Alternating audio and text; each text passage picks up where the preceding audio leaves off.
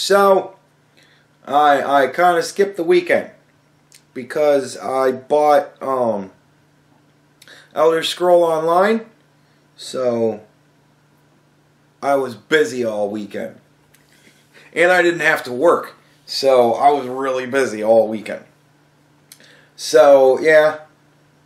Sorry about that. Um, but, back into making videos, and I would like to make some of it up Perhaps I'll make one up today and make one up tomorrow. I don't know. I could do two videos a day for two days in a row, maybe.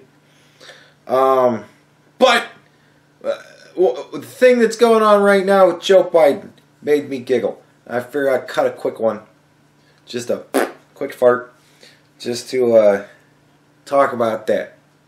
Now, I remember creepy Uncle Joe Biden uh, from you know ten years ago when he was creepy Uncle Joe Biden, and he was running for vice president, and there was like little girls that he was kind of like touching and rubbing, and like you look at the pictures, and you, you go, that makes me uncomfortable, and I'm looking at a picture.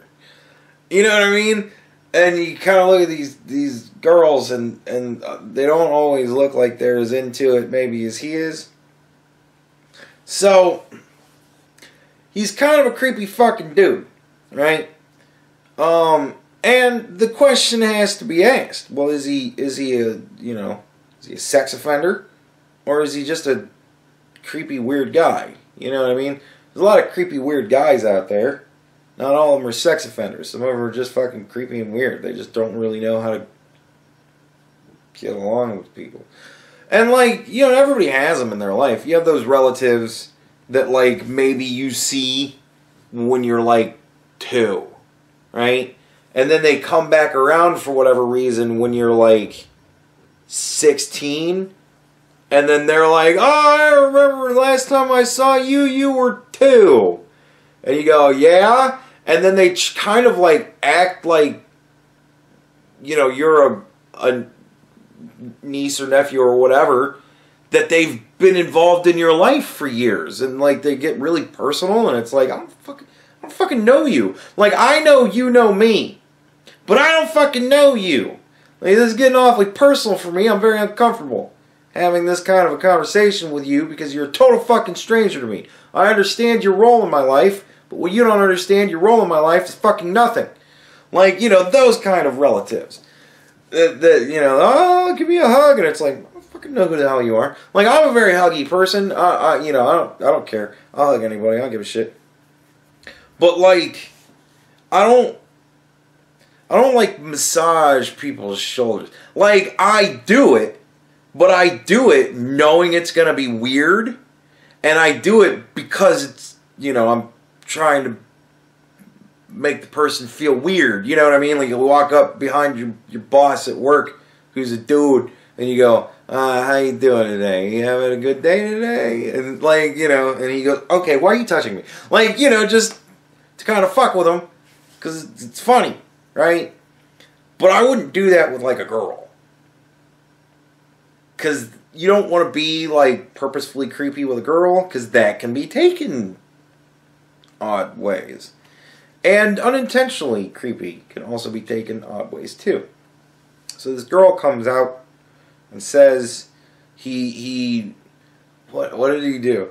He grabbed he like put his hands on her shoulder and like smelled her hair, which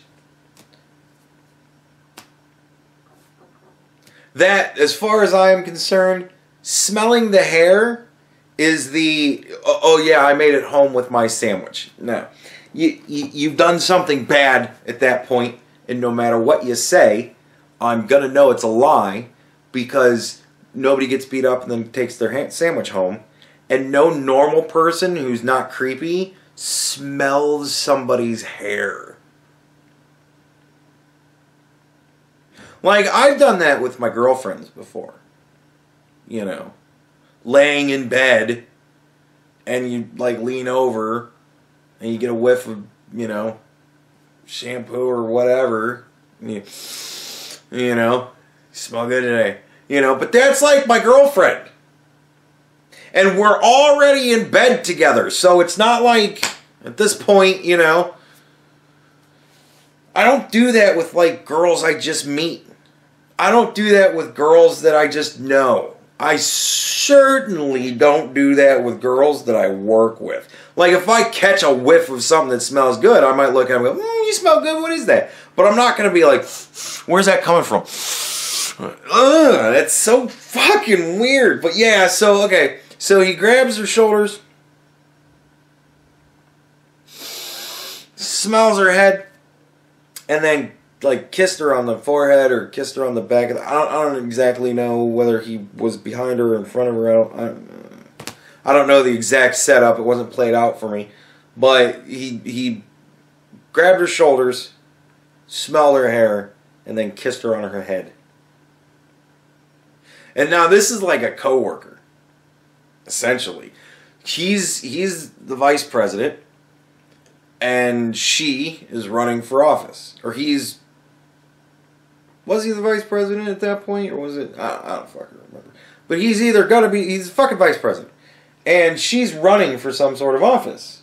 He's there to support her in that. So it's kind of I mean this is very much like a business thing. So like you don't you don't do that with your coworkers because that's fucking weird.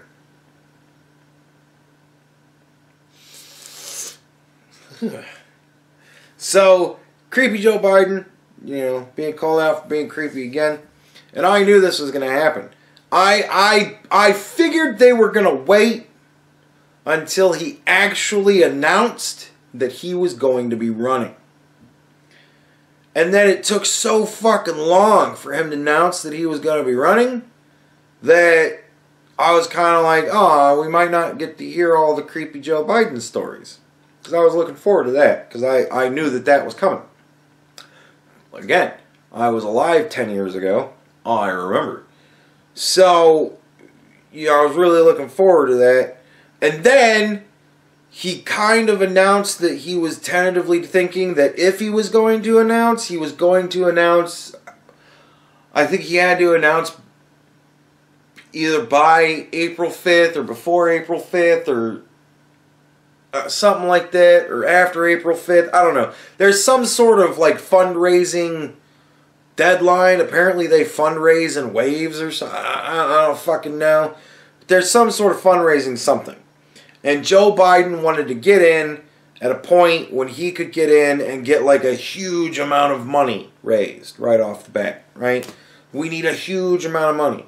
We got to beat Beto. I think Beto is the man to beat for gaining money immediately. Which again is just one of those things that I kind of think about when I'm at work and I think to myself, is that really what you want to be bragging about when you're running for president as a Democrat? All the money you're raising and how fast you're raising it. Like, I don't know. It just, it has kind of a weird sound to me. You know, it's just kind of like, this is a competition amongst them. How much money can I make to run for president? Whatever. So, yeah. Um,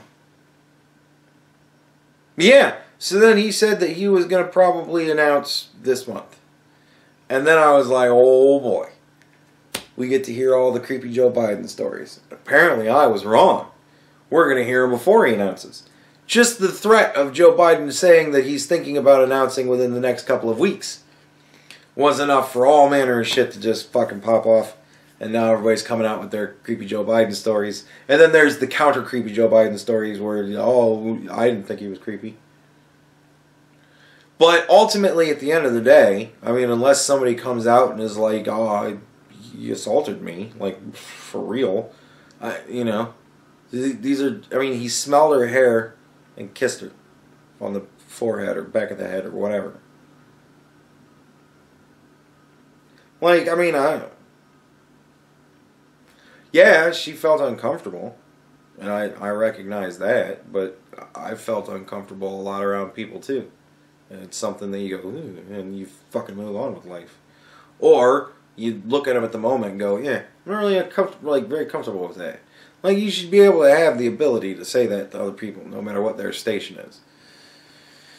Because believe me, it's it's far better for them to go, oh, oh, I'm very, very sorry, very, very sorry.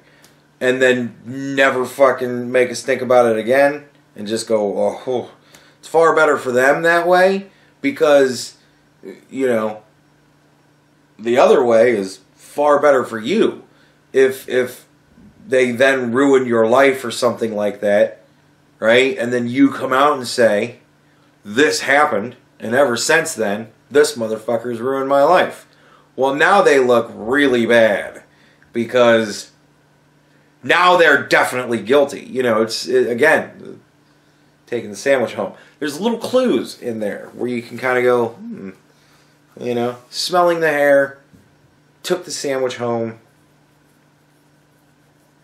This happened, and now my life has been ruined, and I can directly link it to this person. Oh yeah, they're guilty. You know, eh, little little red flags. But, eh, I don't know. I don't know. It's just it's so weird because it's so nothing. Like I mean, yeah, it's it's creepy. Yeah, it's uncomfortable. But I mean, we're not going to arrest him, are we?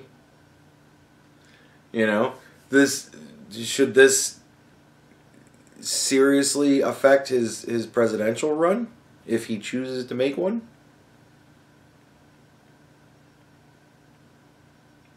Eh, I mean, that's debatable. Do you want creepy Uncle Joe fucking going over to North Korea and and getting his hands all over Kim Jong Un's sister? Apparently, she's a very nice lady. He might like to smell her hair. I don't know. But I did think it was funny. A lot of similarities. Uh, between him and Donald Trump at this point. Apparently, he kissed a girl. He didn't even wait. Pretty girls, he, he just kisses them. He doesn't even wait. Just like Donald Trump. Uh, uh. Maybe that'll be his defense. Maybe, maybe, maybe Joe Biden can go to Donald Trump and go, "How did you get around the whole I don't even wait, I kiss him line?" And Donald Trump will go, "I just ignored it." with all the other shit that was going on, uh, grab him by the pussy was a hell of a lot more popular than I just kiss him. I don't even wait. But yeah, uh, I don't know. Fucking just made me laugh because I knew this was gonna happen. I knew Bernie Sanders is gonna get some shit. Apparently, he's sexually assaulted some girl in some way on some campaign trail somewhere. And Joe Biden, he's creepy. Can't have him. I knew they were all going to start tearing each other apart immediately. Elizabeth Warren, poor Elizabeth Warren, she's already out. Man, she went down quick. Yeah, that's how you hunt buffalo. You take out the stragglers first. The other candidates running for president are more Native American than she is because they know how to take down buffalo. Ugh. Poor Elizabeth Warren. But yeah, so there you go. Um, creepy Joe Biden. I thought that was fucking fantastic. When they were talking about him thinking about running, I was like, oh, great. Get to hear all the creepy Joe Biden stuff. But I mean, uh, whatever. So far, it's fucking nothing. He's he's a creepy dude. He did creepy things. And his oh wait, hold on. One last thing before we go his his uh, he responded to these allegations, and he essentially said, "I'm a very touchy feely person, and I don't believe that I'm ever inappropriate. If you thought I was inappropriate, I'd be more than happy to listen to you." Pretty much that what he said. So essentially, what he said was my intentions, as far as I'm concerned, are what it is. What you feel doesn't matter. And if you would like to tell me that what you feels matter about my actions more than what I feel about my actions, I'm willing to listen to that. But I'm probably still going to tell you to go fuck yourself because I'm running for president, bitch. That's kind of what I heard, but you know, whatever. Take it how you will.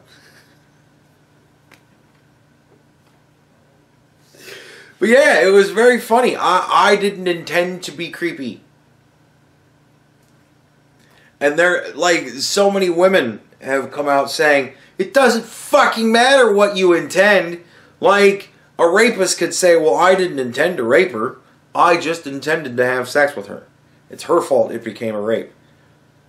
No. Uh-uh. That's no. That's not how it works, man. You can say or do whatever you want to any person, but it's how they respond to it and react to it that makes the, it it sets the tone for what continues from there. So, if he didn't believe that he's creepy, well good for him. But unfortunately, everybody disagrees with you, my man. Everybody kind of thinks you're creepy. We've seen the pictures, we've watched the video. You're kind of fucking creepy. And you need to stop touching women and smelling their hair. Because it's fucking weird. Uh-uh. No.